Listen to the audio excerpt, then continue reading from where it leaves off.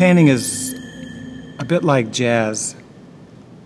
And jazz is, um, when you play jazz, you're playing your own life. You're playing your experiences. You're playing things that have happened, good or bad.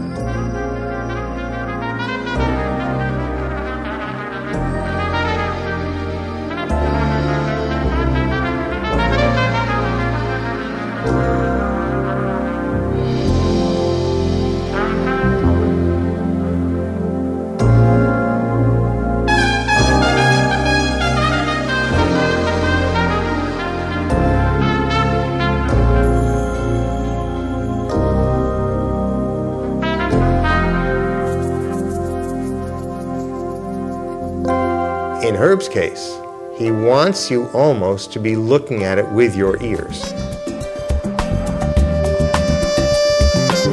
You use the kind of sense you make of music to make the sense of the art.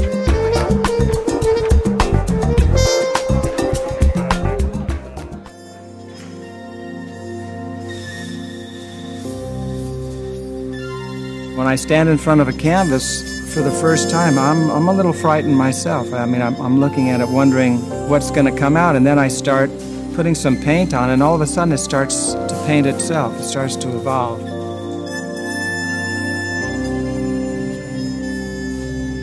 Herb, as a person, is a very gentle, soft spoken, unassuming soul. And his paintings are, it, the, voice of his paintings and his sculpture as well has such power and um, volume to it that you wouldn't think that this would be coming out of this person. Well, I'm, I'm kind of a shy guy. You know, the reason I play the trumpet is because it makes a lot of noise. and I, I guess I, I, gravitate towards colors that are uh, electric and have, uh, you know, a vibrancy to them. It gives me a voice that maybe uh, it's speaking, you know, some, some inner feelings that uh, sometimes are not coming out.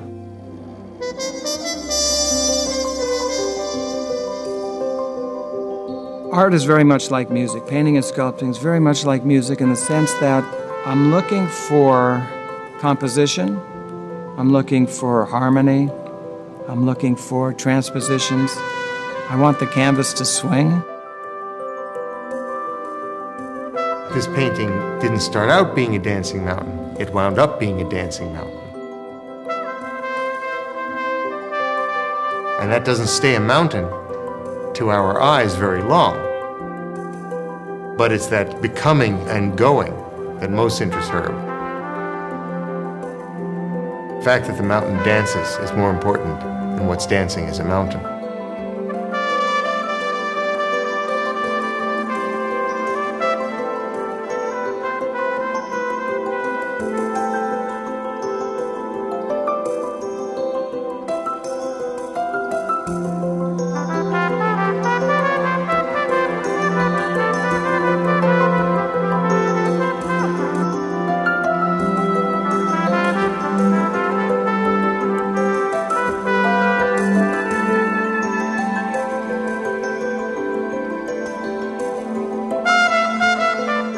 Think there's beauty in shapes. You know, I don't think you have to uh, analyze it beyond that. There's certain shapes that just are appealing when you see a beautiful tree or a beautiful flower.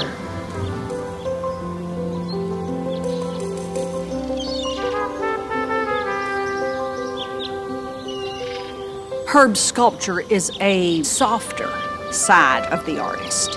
It is more round and moving and flowing, where the, the art is more staccato and vibrancy and excitement.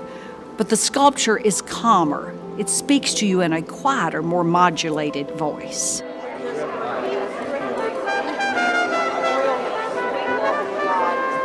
It cries out to be touched. It cries out for people to participate in the art. A lot of museums have this cordoned off space for people not to get too close, and I, I like very much for people to put their hands on the pieces. I like this tactile feel. I like the feeling of being able to run up and hug a piece.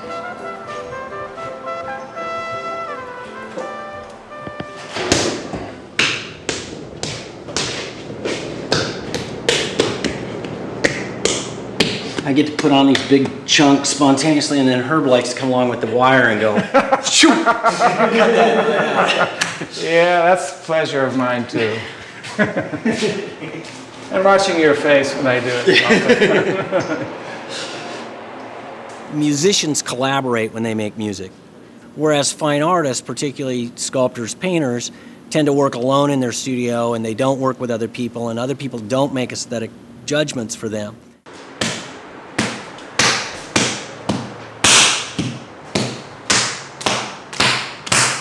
Working with Herb is a completely new and different approach in that aspect.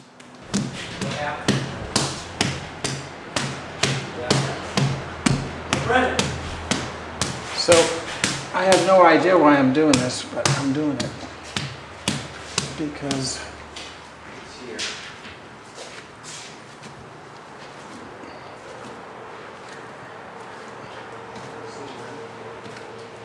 I don't want it to look like uh, I whacked it with this type of hammer, so I'm gonna just gonna play with it a bit. But I like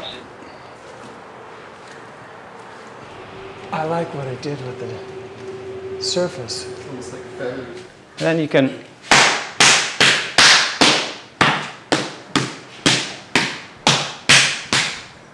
know, you can get an effect like that. That might. Sometimes some of these effects look a bit contrived, so you have to be careful not to go overboard. Be like putting too much echo on a record.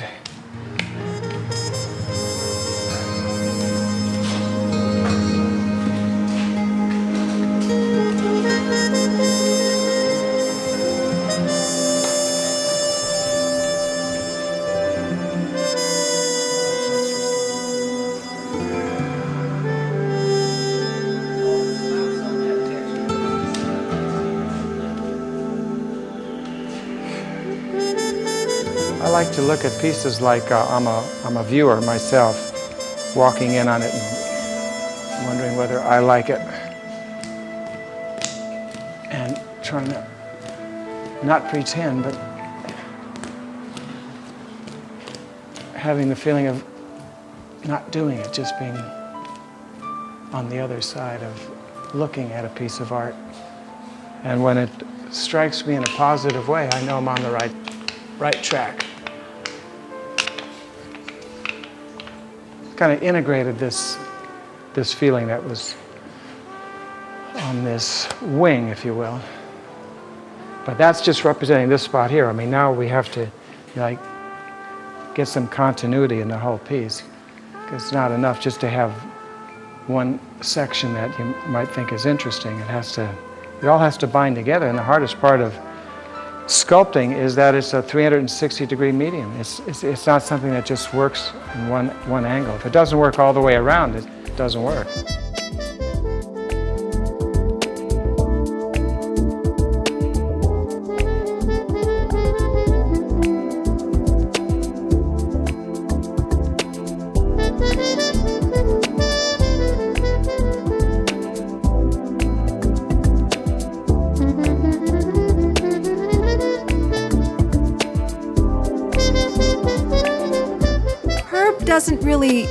Work creatively, he lives creatively.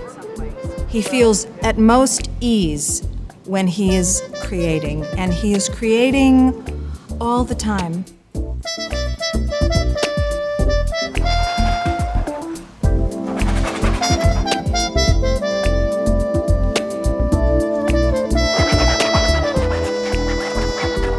It's a bit of a mystery for me as well. I'm responding to uh, what the canvas is telling me. So as I'm working on it, I'm hearing something. I'm hearing something that's saying, you know, try this, try that, and don't do that.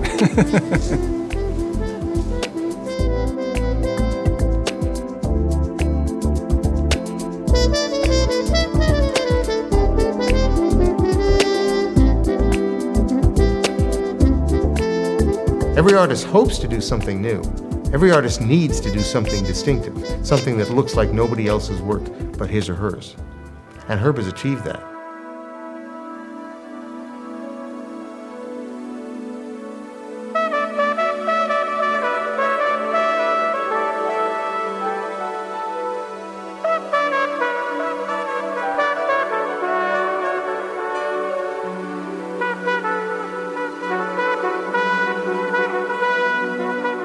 Has this tendency of dividing up the painting into discrete areas defined as rectangles and squares and, uh, and windows and cubicles.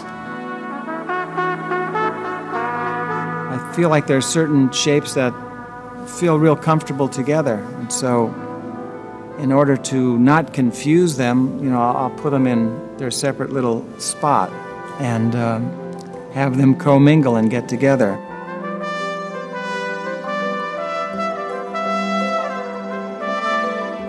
I seem to be able to remember shapes that I like,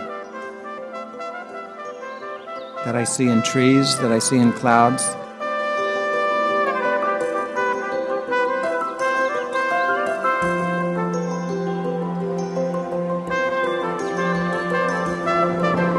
That I see in the ocean.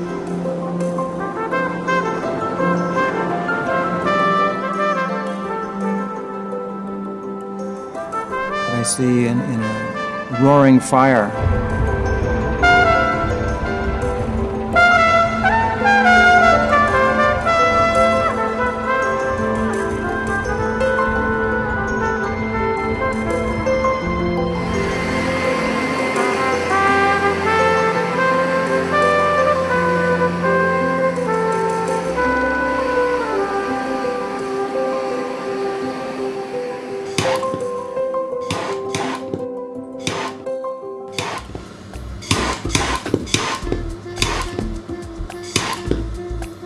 I walk into the kitchen in the morning, he's got a blowtorch in his hand and he's blowtorching some wax that he's melting in the in the oven.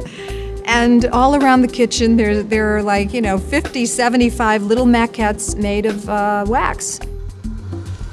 My wife is not crazy about me doing this, but it's out of my control. I have no choice. When I'm doing this, I feel like I'm improvising. I'm going with it. I'm, I'm taking, you know, um, chances with what I see.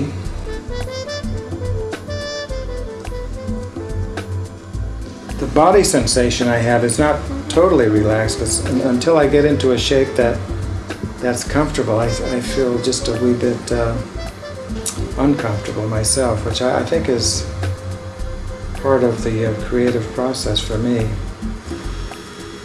Would you buy a used car from the guy who made this? It's free. I like the, f- the freedom aspect of it. That's why I'm so crazy about jazz.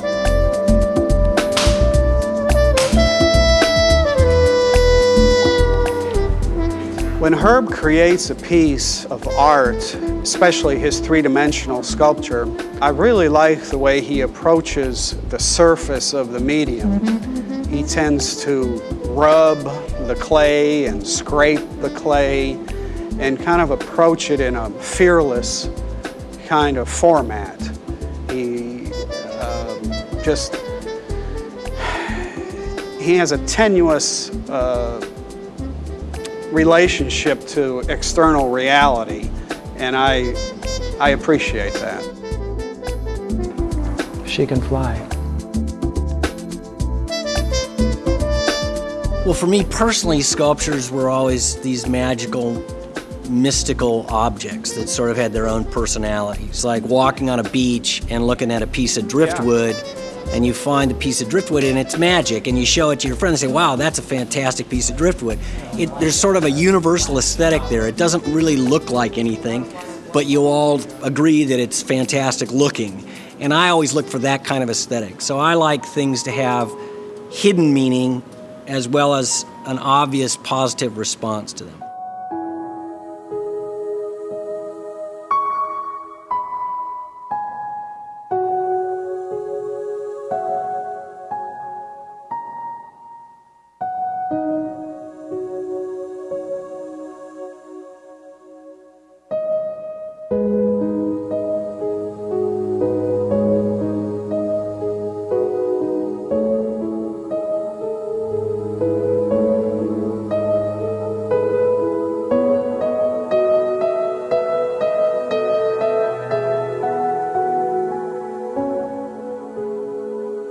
This is his self expression.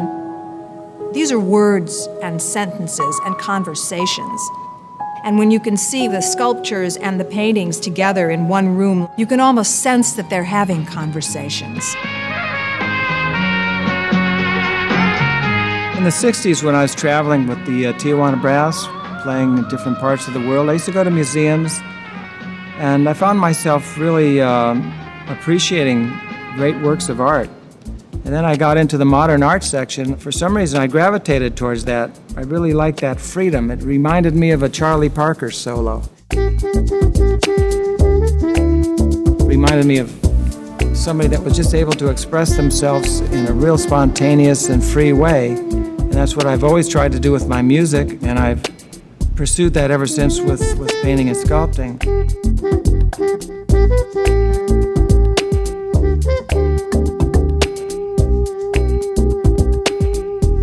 Herb's art doesn't aspire to the condition of music.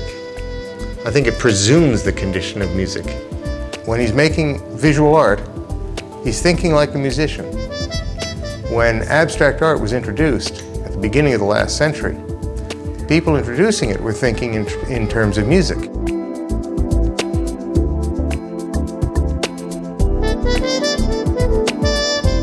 He's reaching for the same deeper point in you as it's coming from him, whether it's music or it's art.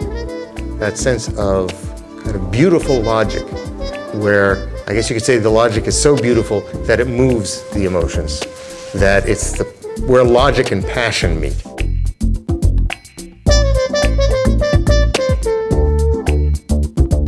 Put your tennis shoe on it and do something interesting. See that line right there?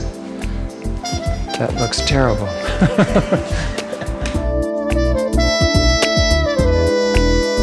I'm looking for the feeling of it. The musician's piece that I sculpted is, is not about me playing all these trumpets. It's about what it feels like or the feeling of playing. The experience of leaning back and just closing your eyes and letting it fly.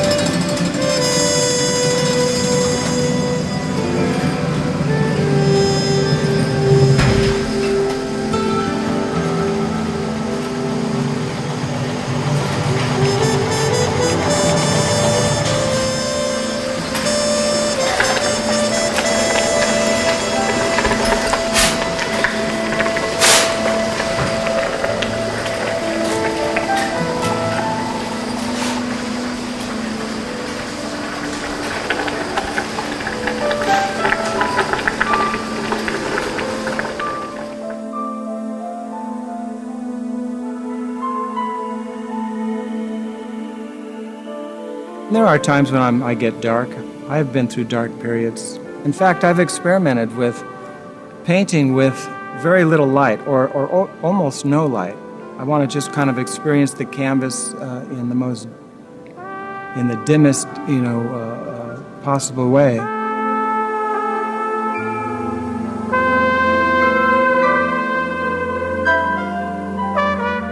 You can think you're going to start with a happy tune and what you do with that tune turns out to be more reflective and even melancholy than you expected. It's definitely coming, but so is Christmas.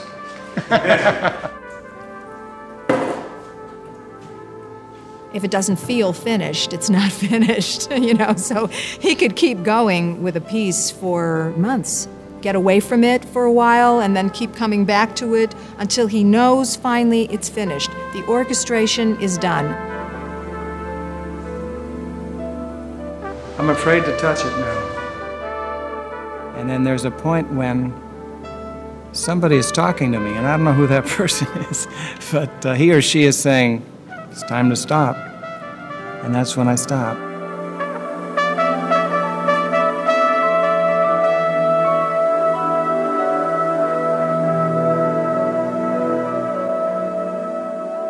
While you're in the presence of that piece of art, a part of you becomes a part of that artist, and a part of that artist's soul becomes a part of you. And I guess in reality, that's what art is all about. It's about taking someone's spiritual presence and putting it on a canvas to share with the world.